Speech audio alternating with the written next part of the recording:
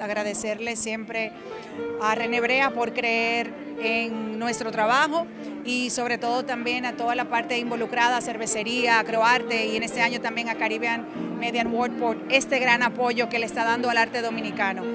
Yo me siento muy afortunada de que tengamos un premio que va también a ser inclusivo en la parte de la moda. Es decir, la premiación no va a tener la responsabilidad de un solo diseñador, sino le hemos dado apertura a todos los diseñadores dominicanos, a todas las personas que tengan talento.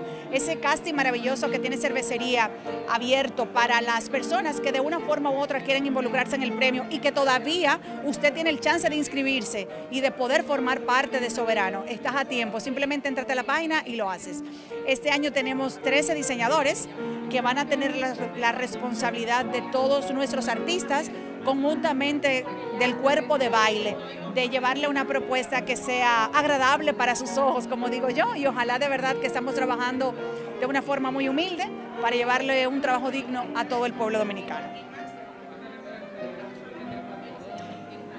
Muchas cosas, muchas cosas. Ah, bueno, en el vestuario mucho color, porque la paleta de, que está ahora en la moda es eso, es alegre, es divertida, mucho movimiento.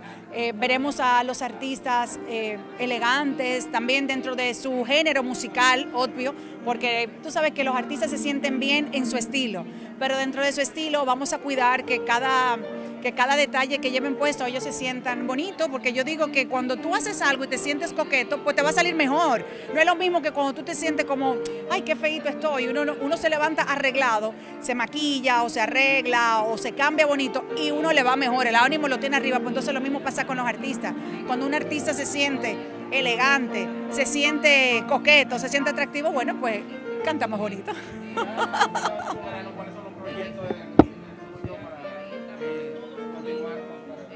Eh, estoy trabajando en un programa de radio al mediodía en Rumba con un equipo maravilloso que está encabezado por Charlie Mariotti. Y nada, yo creo que después de esta pandemia tenemos que vivir día a día, a ver lo que nos trae y gracias a Dios yo no puedo quejarme porque lo que me ha traído cada día ha sido, eh, han sido proyectos lindos y maravillosos y sobre todo cerca de personas muy queridas para mí.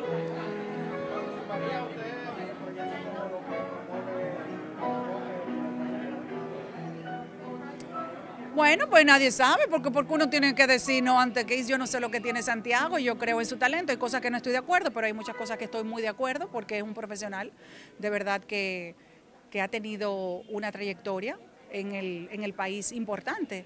Y de hecho recuerdo cuando nosotros hicimos las primeras producciones de Soberano, que Santiago era uno de los principales que llevaba a los artistas urbanos a, a, la oficina y lo recuerdo bien, un hombre muy trabajador.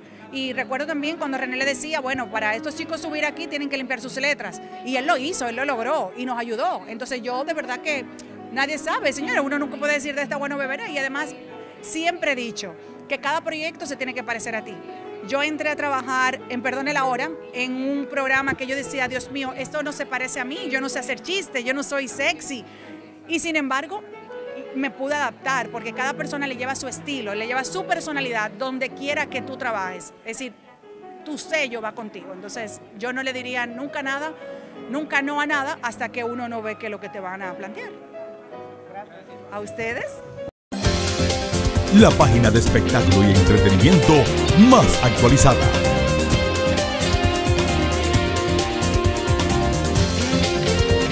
Viva expresión de dominicanidad. GenteRD.com